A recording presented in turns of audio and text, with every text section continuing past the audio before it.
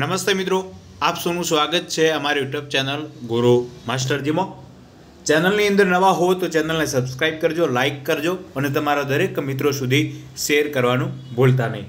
આજે આપણે જાણીશું કે બિન અનામત વર્ગ છે તેમના માટે યોજનાની અંદર ફોર્મ શરૂ થઈ ગયા છે. તો કઈ કઈ યોજના છે અને સૂચના શું છે એ પણ આપણે આજના આ વિડીયોની અંદર જાણીએ. તો ચાલો મિત્રો, શરૂ કરીએ. સૌપ્રથમ આપણે મિત્રો જાહેર ખબર શું આવેલી છે એ જોઈ લઈએ. ગુજરાત બિન અનામત શૈક્ષણિક અને આર્થિક વિકાસ નિગમ ગાંધીનગર દ્વારા આ સૂચના આપવામાં આવેલી છે.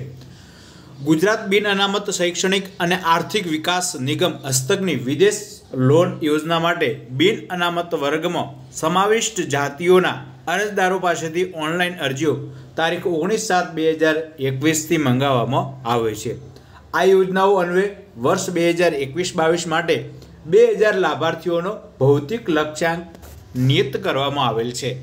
આ યોજના માટેનું પોર્ટલ વર્ષ દરમિયાન સતત રીતે ચાલુ રાખવામાં આવનાર હોય, અરજદારોને તેમના વિદેશ અભ્યાસના શૈક્ષણિક ક્ષેત્રને ધ્યાનમાં લઈ અરજી રજૂ કરવા અનુરોધ છે.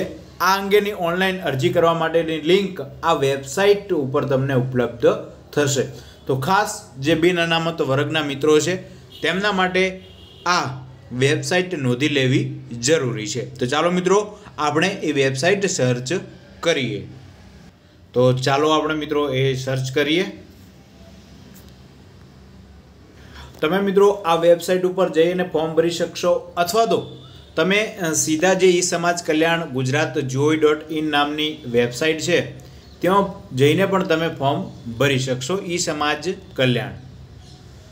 ઈ સમાજ કલ્યાણ ગુજરાત. આપણે સર્ચ કરીએ.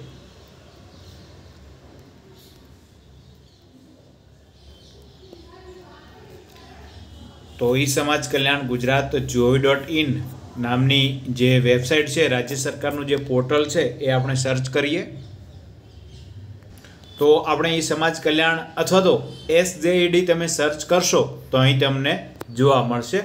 તો આ છે એ ઈ સમાજ કલ્યાણ નામનું પોર્ટલ છે. આપણે તેના ઉપર ક્લિક કરીએ, તો અહીં તમને આ પ્રકારનું પોર્ટલ જોવા મળી જશે. હવે તમે અહીં ક્લિક કરી શકો છો. અહીં ક્લિક કર્યા બાદ નીચે તમને કોર્પોરેશન લખેલું આવશે. ઈ સમાજ કલ્યાણના પોર્ટલ ઉપર. તેની અંદર ગુજરાત અનરિઝર્વડ એજ્યુકેશન અને ઇકોનોમિકલ ઉપર તમારે ક્લિક કરવાનું રહેશે. એટલે તમને નીચે જે પણ યોજનાઓ હાલમાં ચાલુ હશે તેની તમને જાણકારી મળી રહેશે. તો હાલમાં ફક્ત એક જ યોજનાની અંદર ચાલુ છે ફોર્મ તેની અંદર તમે ઓપન ઉપર ક્લિક કરી અને તેના ઉપર ક્લિક કરી અને તમે તેની અંદર ફોર્મ ભરી શકો છો. અહીં તમને તમામ પ્રકારની માહિતી પણ જાણવા અને જોવા મળશે. હવે ફોર્મ કેવી રીતે ભરવું? તો સૌપ્રથમ તમારે શું કરવું પડશે? યુઝર આઈડી અને પાસવર્ડ તમારે બનાવવાના રહેશે. તો ન્યૂ યુઝરમાં જઈ અને તમે આઈડી અને પાસવર્ડ પણ બનાવી શકો છો. તો આ રીતે તમે તમામ પ્રકારની માહિતી જાણી શકો છો. તો અમારો વીડિયો તમારા દરેક મિત્રો સુધી શેર કરવાનું ભૂલતા નહીં. દરેક મિત્રો સુધી શેર કરજો. અને અન્ય કોઈ પણ પ્રકારનો પ્રશ્ન હોય તો અમને જણાવતા રહેજો. થેન્ક યુ આભાર આભાર.